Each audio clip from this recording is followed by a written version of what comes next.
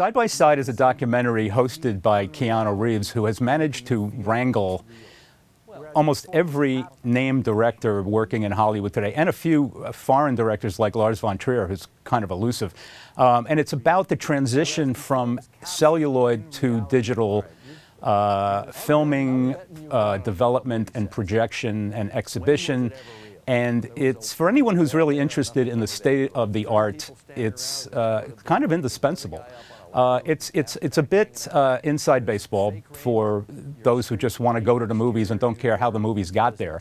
But for anyone, certainly film students, certainly anyone who is interested in the nuance of how a picture appears in front of your eyes, it's really interesting and uh, entertaining.